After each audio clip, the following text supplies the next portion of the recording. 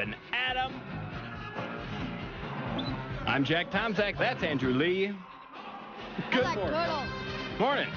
Good morning. Morning. What are you so Not a single thing you said is accurate. Bothered. bothered about?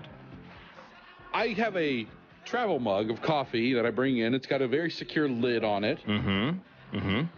Show it to the to the video. The people for- who will watch this video at later. That's 9:30 tonight once Look I get done I mean, putting it is. together. It's on there tight. It's tight. a lid. Like when I bring this home, if I don't uh, take the lid off and rinse it out right away, if I like leave it on the counter, my wife will come home and she'll try to get the lid off and she can't. She always has to bring it to me because I, I, yeah. I, I- tighten it. I'm I a have a I'm lot a of- strong man. I have a lot of trouble getting it open when I go to fill it for you. yeah. Yeah, I have a lot I of just trouble. try to open it so then I can more fully appreciate your strength as a man.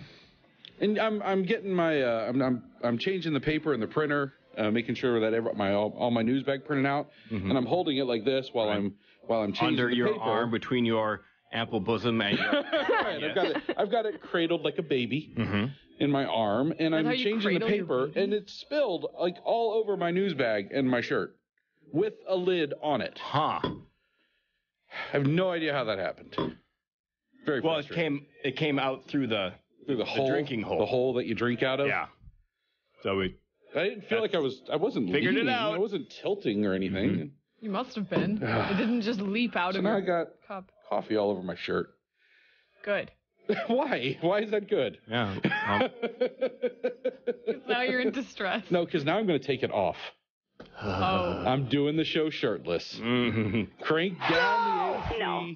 No. Let's No. do this. No. No.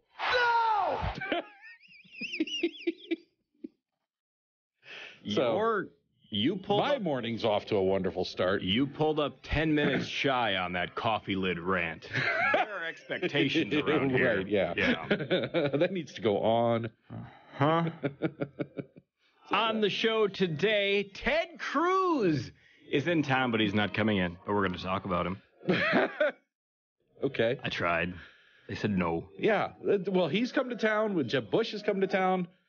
How come these people don't want to be on the most popular and influential show that happens to be broadcast on the 11:30 frequency Well, during six to nine?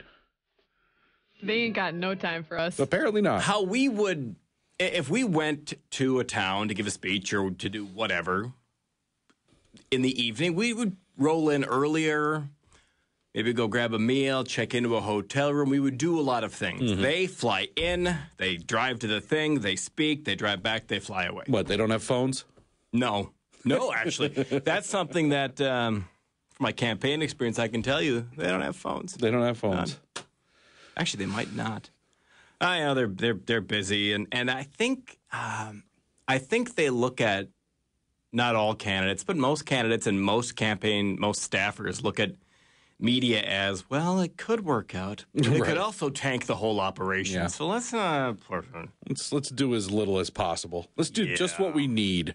Yeah. And then we won't run the risk of saying something stupid. Although Ted Cruz is pretty, he's not really the. Okay, I We're get it. Going to talk about some of the things Ted Cruz has said, and uh, we'll let the listeners uh, tell us if it's funny or weird. At 740, Glenn Bolger with Public Opinion Strategies in to talk about a new poll they have on the Sandpiper Pipeline. At 8, Kevin Magnuson, he's with the Minnesota Jobs Coalition. He's the head of that organization, in to talk about a complaint uh, they filed against corrupt DFL State Representative Joe Atkins, Mm-hmm. and it's being investigated. So uh, things are afoot there.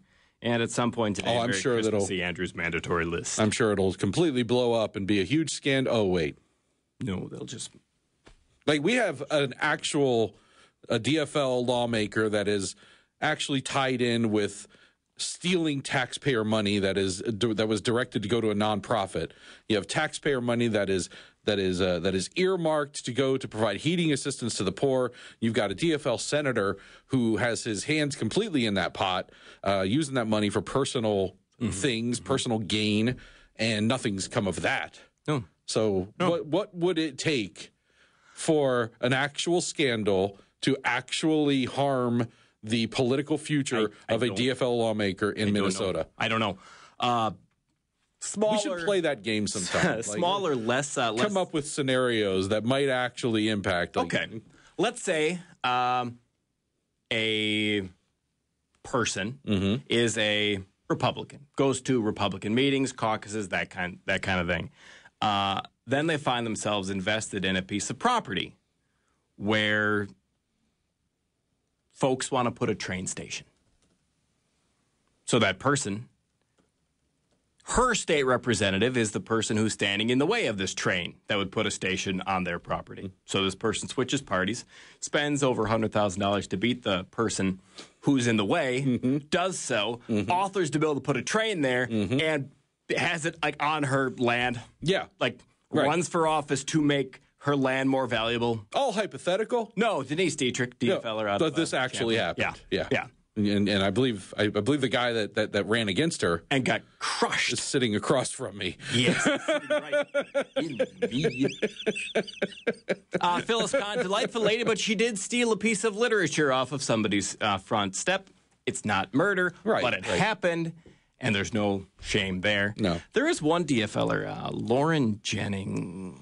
But you know, exchange some documents in a park, Right. and suddenly that's the you know it blows up in everybody's Yeah. Everybody. Okay, not a but specific. One. Just exchanging uh, documents, man. Uh, DFL State Representative uh, Loren Jennings, years and years and years ago, like 15, 10, 15, had some type of deal where he had authored a bill that would get him some money through telephone poles. And he ended up going to jail. Really? That's like the last one. Hmm. Basically, you know, you can get away with almost anything in this state. Mm-hmm. Paul Thissen killed a guy. No, he did not. No, Don't he did not. say that on the radio.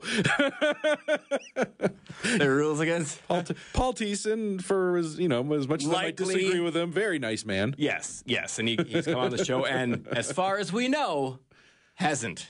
As far as we know, Allegedly, I don't like to make he definitive is not a murderer. definitive statements either way if I don't have actual proof. I enjoyed my last day with Twin Cities News Talk AM 1130. I'd like to thank all the people at iHeartMedia. It was a good- Andrew. It was a good run. Thank you. It was a good run. It was forty percent uh, of most the average run of, of a morning show here, so Mm-hmm. not bad. You almost made it half the average. Getting there. All right, let's take a break. We'll come back with a news bag, and I reveal the big deal I got to fill in for Andrew tomorrow.